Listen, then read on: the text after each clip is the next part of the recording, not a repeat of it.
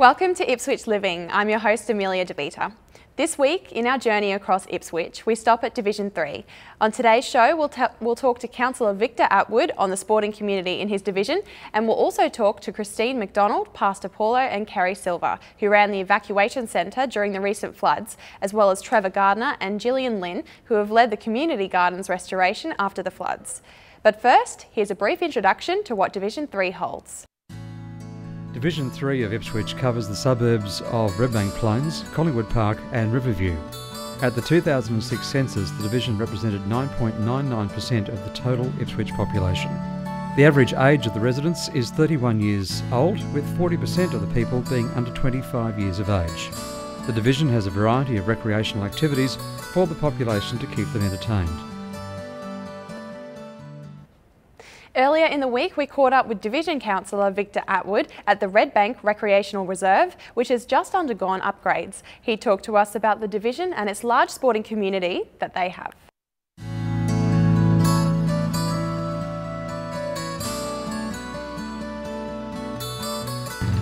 Hello, my name is Victor Attwood. I'm the Councillor for Division 3 in Ipswich City Council. I'm also the Deputy Mayor.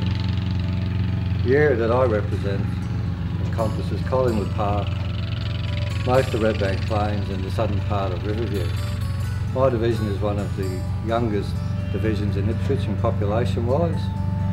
And because of that, we have a lot of um, young people here, so we try to provide a lot of sporting facilities for them. We also try to um, encourage people to use those facilities.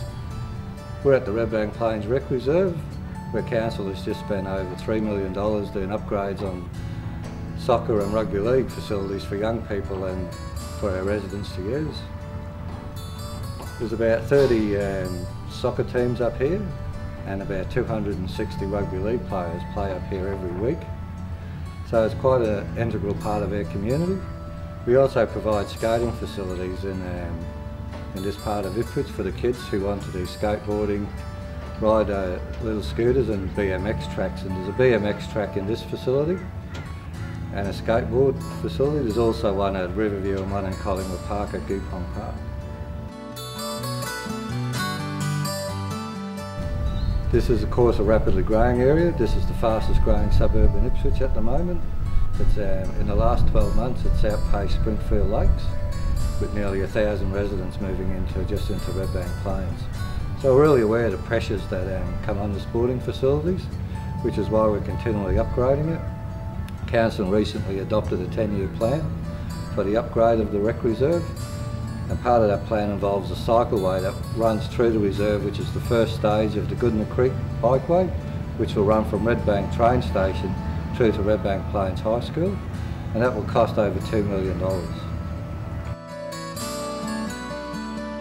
The next um, stage of the upgrade here will be um, a green spine that runs through the middle of the Senate. Also um, the AFL club, a lobbying council currently for, us, for a, um, a clubhouse similar to these ones. And also um, I'm lobbying the council for a citywide skate park to be built in the youth space that we have here. I think that Ipswich is crying out for a city-wide one, a large skate facility where you can have everything from beginners to advanced skaters and scooter riders and BMX riders to try their skills out and where um, you can not so much control what people do but monitor what they do and make sure that people behave in a responsible manner and, and ride in a responsible manner and that um, we can provide better facilities for people.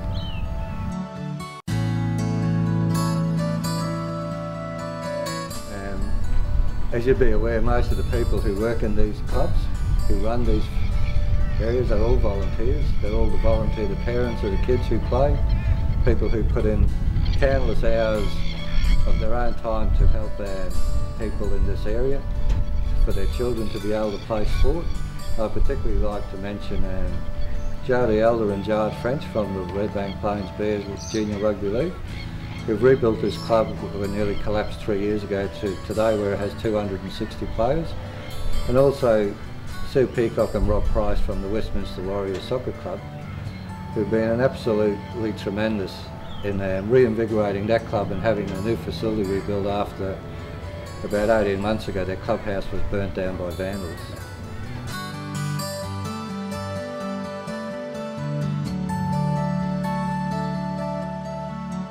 There are often like um, games here on Friday nights and on the weekends of all the different sports. In the next um, week or two, given that it's Youth Week, we'll be holding skateboarding contests at um, Goopong Park and also at Maculata Park and Riverview for young people in this area to um, upgrade their skills and, and, have a great time during the school holidays and during Youth Week. This is a very multicultural division. The eastern end of Ipswich is very multicultural, has a lot of different ethnic backgrounds. There's over 80 different ethnic groups that live in this area.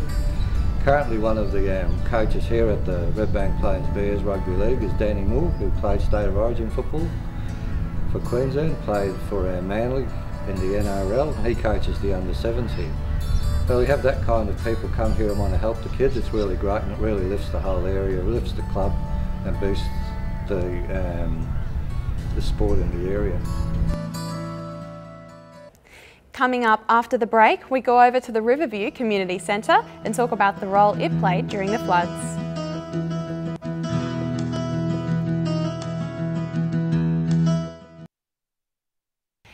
Welcome back. Our next story is about the Riverview Community Centre and its role during the recent floods. Christine McDonald, Pastor Paulo and Kerry Silver led the evacuation centre as a community pulled together to help those that were affected by the floods and the work that they are still doing for those who are in the process of restarting their lives.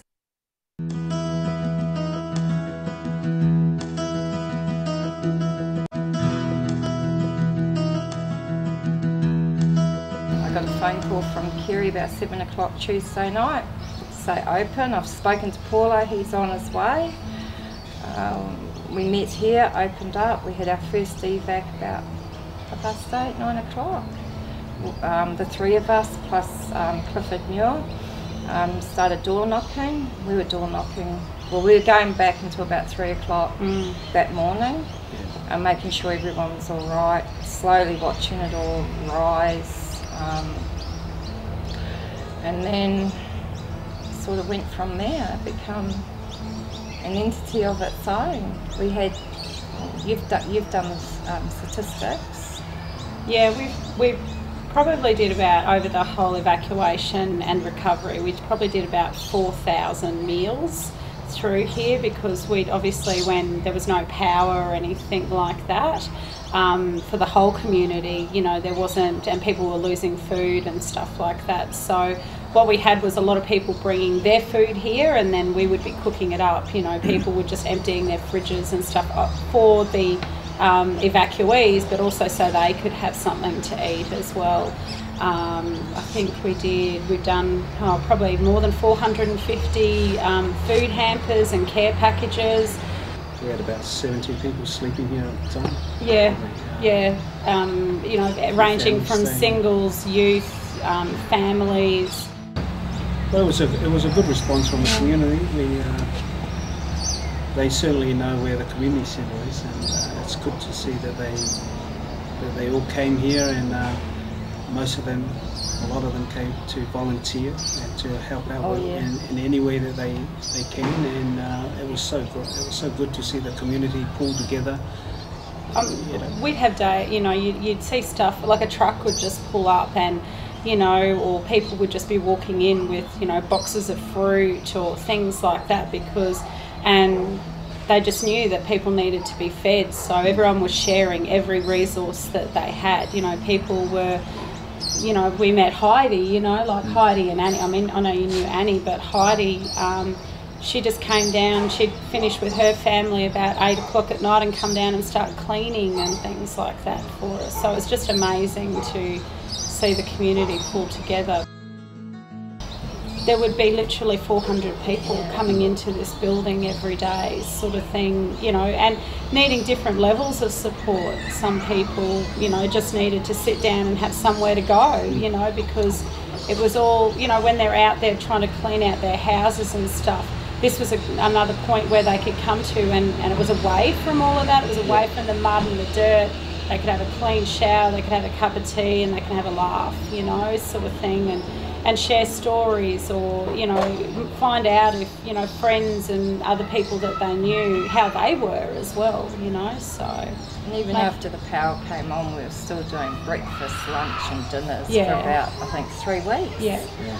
And that, and we were still doing lunches right up until we mm. closed as a recovery centre. We still had people coming in that were doing their houses, coming in for lunch, and it was. It, honestly, it was. It was it was a really bad situation, but mm. I think this place made it a, a, yeah. a good place to be.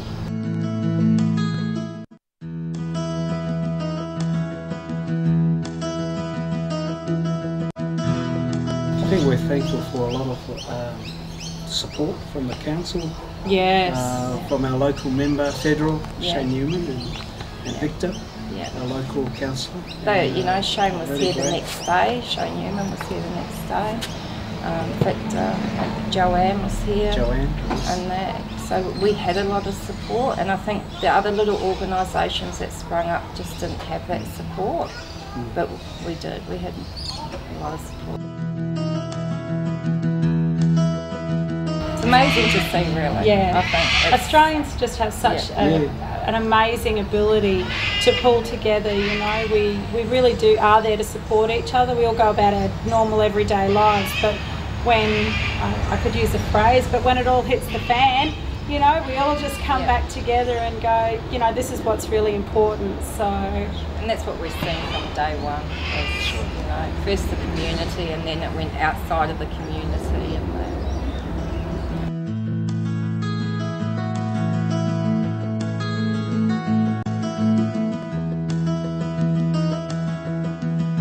I'd like to thank uh, Pastor Pastor Don from the Gleaners, uh, Goodna Gleaners. Uh, he came here with his truck numerous yes, times, delivering yeah. cold stuff, uh, non-perishable stuff, and uh, even from their, their own store at Goodna because they, they were flooded, they were cut off. So uh, they gave us uh, a lot of their stuff, and so thank you, Pastor Don.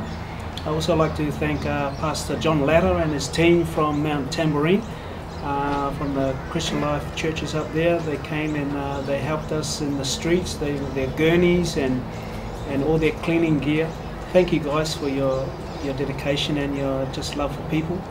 Uh, thank you, Pastor John, for taking the initiative and for that great help you, you gave us. And I'd also like to thank uh, Renee, Renee from 256, uh, yeah. Renee, Renee and Joe yeah. from 256 uh, Brisbane Terrace, Terrace there. Thank you for uh, for supporting us and fruit, all the stuff, fruit, fresh fruit, and fresh fruit, and everything that you gave yeah. us. Uh, it was it yeah. really uh, helped us in the, in the long run, and uh, I'd like to thank to those families who Cheryl Brearley from um, from Redcliffe, Redcliffe area. Cheryl, yes. Cheryl did an amazing job, yeah. and um, you know put ads in the newspaper and things like that to ask people over that way to donate furniture and clothes. Uh, not so much clothing, but you know household items yeah, as well. I think we're a bit With the, the clothing. Yeah, yeah, but she did plates yeah. and all sorts of toys and stuff for kids and stuff. So. And for the uh, Watson family for their donation as well. The, oh, a lot of people gave us donation uh, monetary. Yeah. Yeah, we just want to thank them for their kindness and. Woolworths and Ipswich, they, they clean their shelves out and um, I think Shayne organised that. They cleaned their shelves out because they were totally flooded and we ended up with all the food and non-perishables and that. While interviewing Councillor Victor Attwood, he had this to say on the efforts of the evacuation centre. Christine McDonald and Paulo Paulo Kerry Silver, who organised the evacuation centre there, I think are real heroes of the floods in Ipswich. They housed 40 families. They fed over 400 people most days for over two weeks as people came into this area from, particularly from Goodna and from Norquay Vale, looking for somewhere they could get some assistance. The whole effort of that community was absolutely outstanding and I think they should all receive medals from the Premier's Flood Relief and Medal Scheme. It truly was an amazing job that those three did, and there are many more people out there who helped who haven't been mentioned, but we thank them too. After the break, we'll head out to the Westphalen Community Gardens and talk to Trevor and Gillian about the floods and how the restoration effort is going. Welcome back. There are a few events currently on and coming up soon in the Ipswich area. Let's take a look.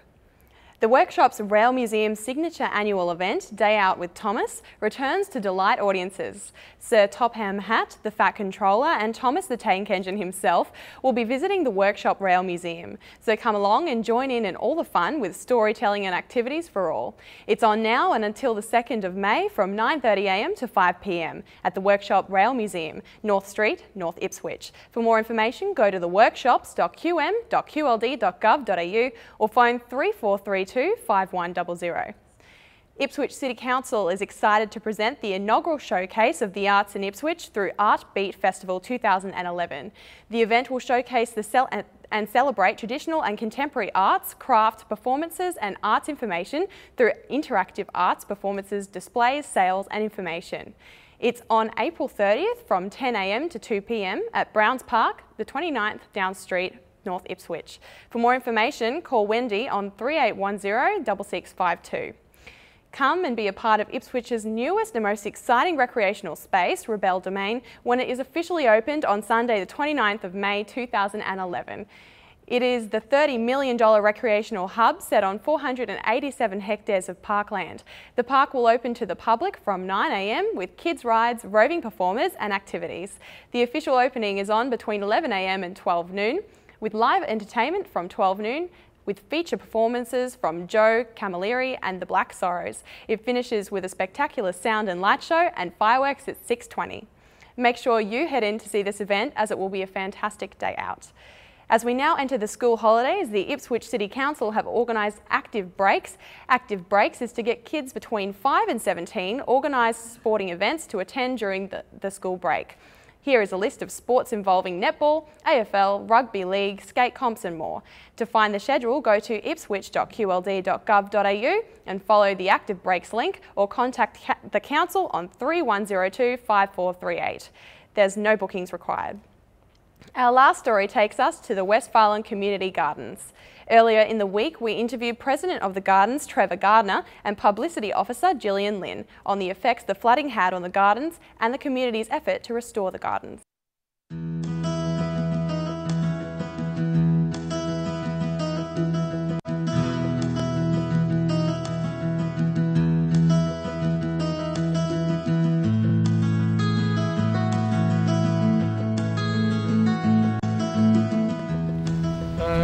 They affected us in three or four different ways. Um, firstly, uh, by losing a lot of equipment, and um, secondly, by being all over the top of the gardens and washing gardens away and uh, equipment away. Um, and then, um, thirdly, I would say um, it set us back probably five years from where we were. Um, and uh, so sitting there looking at the garden, we were thinking that maybe it was finished, but then thought, no, it's got to continue. So um, we just decided to get stuck into it and get it all up and running again and get everything replaced. And um, as you can see where we are, you know, six to eight weeks down the track, we're, we're just over the moon, aren't we?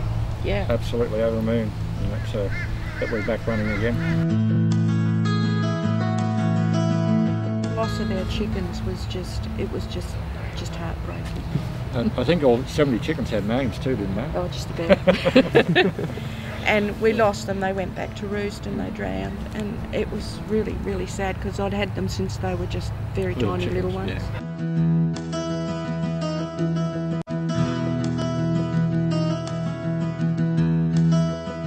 It also affected us being able to help charities in the area uh, with, by supplying food and um, vegetable, fresh vegetables and herbs and fruit.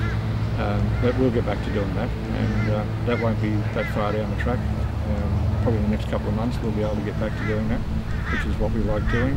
It's part of the garden's heritage, and uh, we'll, with the crew we've got and all the help we've had, we'll probably come back bigger and better.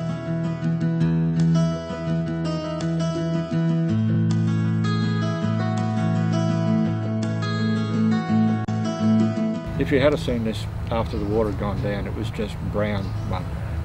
Um, and you just couldn't Yeah. stay on your feet. I, uh, I actually drove down and came up around the back way and drove in through on the grass and stopped and had a look. And I sat up the, up the top there and I had a couple of tears in the eyes because I was like, oh God. Yeah, well, Graham and I stood up there, and I said to him, "What do we do? Do we walk away?" He said, "That would be easy." Mm. So we took we took the hard way out. We decided not to not to walk away, to rebuild, um, and I'm, I'm glad we did.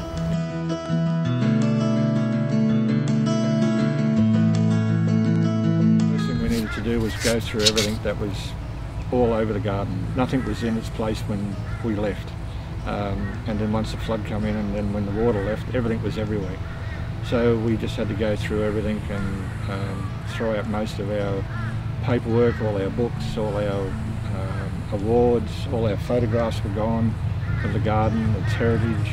Um, all our uh, power tools were washed away, mowers, lots and lots of equipment that we had accumulated to make us very independent um, and to be able to do everything we want to do. Um, so that really was a, a big um, part of the area that um, we didn't know how we were going to come back from that, how we were going to get the equipment, um, or you know just whether anyone would help us. But then, as we got into the cleanup, we had uh, companies coming in. We had electrical trade union come in. We had um, a company from Ipswich called Custom Furniture. They came in and helped. We had individual people coming off the street, didn't we? Yeah, and amazing. asking if they could help and help clean up. Um, we had lots of help from Riverview House, um, with Christine and Kerry, and um, they're still helping us with different things. Um, and just, you know, it just was mind blowing to see the amount of people that came in and helped us. People we didn't know, uh, had no idea uh, who they were, but they were there to help us. We had, um, who was the electrical company that came in? Niels, Nielsen's Nielsen. electricals came in out of nowhere. They just arrived and said, "We're here to do all your electrics," um, and they did all the electrics. Plus, they added a few extra power points for us. So the generosity, you know, uh, was just incredible.